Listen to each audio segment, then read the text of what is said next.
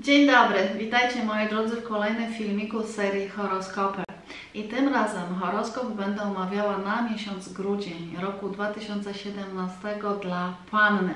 Zatem panny mogą e, tutaj rozsiąść się, nie wiem, kawka, herbatka e, i posłuchać e, tego, co karty chcą Wam przeze mnie przekazać, jak się ten miesiąc grudzień będzie wibrował. Ale zanim zacznę, coś tytułem wstępu. Kimże ja jestem? Bo mm, przybywa Was tutaj, być może ktoś jeszcze nie wie, kim jestem.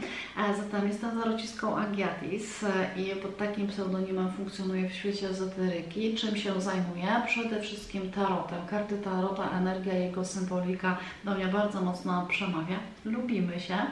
E, Również e, numerologia, również karty anielskie i także rytuały.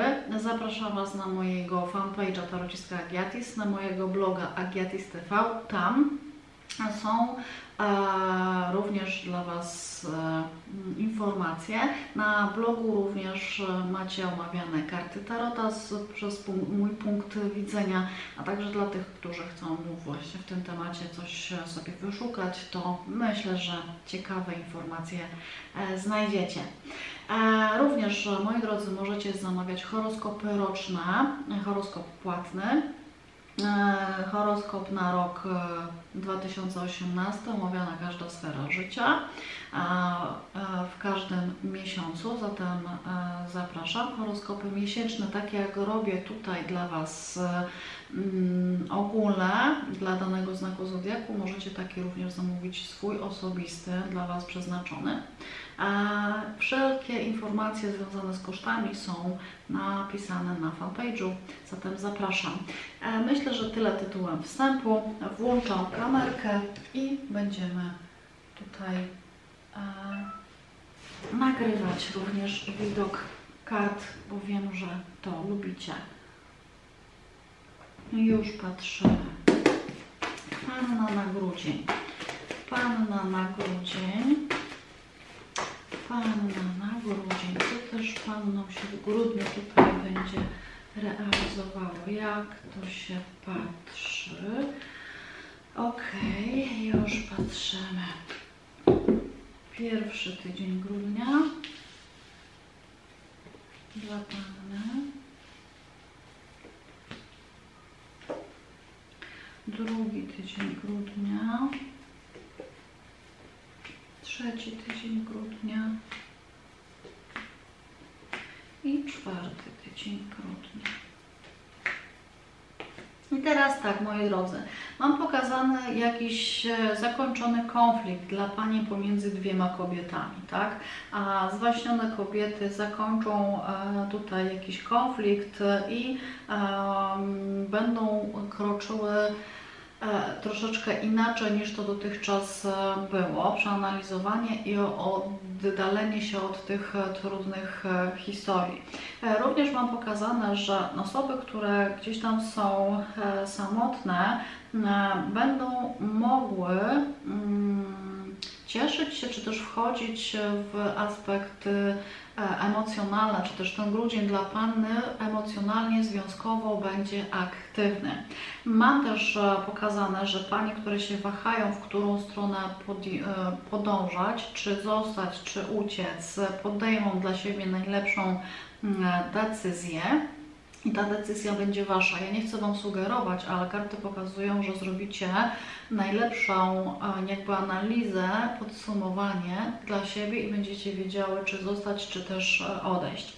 Dla e, panny, która jest samotna, Mam też pokazane, że jakiś mężczyzna się do Was nie może przedostać. Mam tu króla mieczy. Król mieczy to jest e, mężczyzna, który jest inteligentny, który operuje słowem doskonale.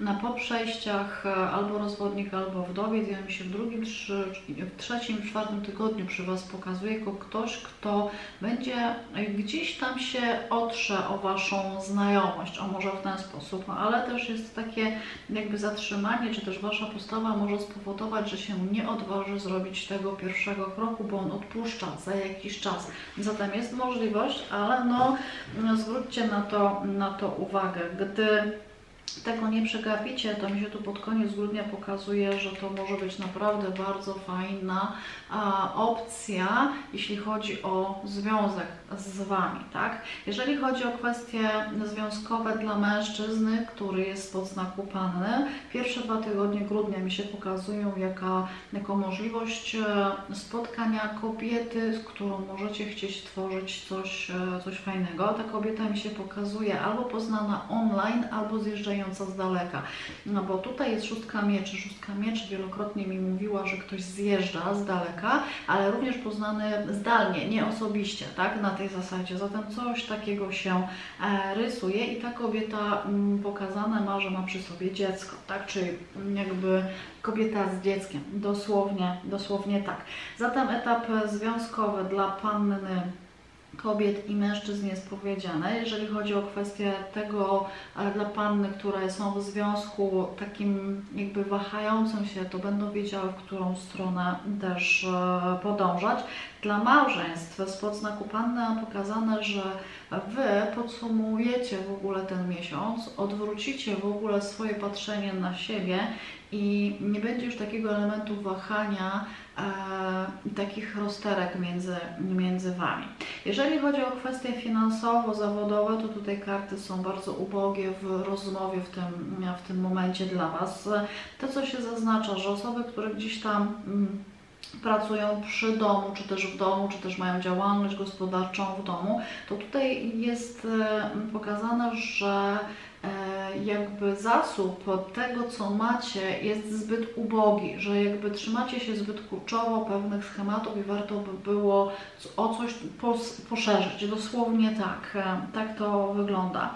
E, nie mam tutaj informacji, że te osoby, które jakby szukają pracy, miały ją mieć już klepniętą. Mam tu pokazane poszukiwania jak najbardziej, ale klepnięcia jeszcze tutaj w tym miesiącu, grudniu tego nie widzę.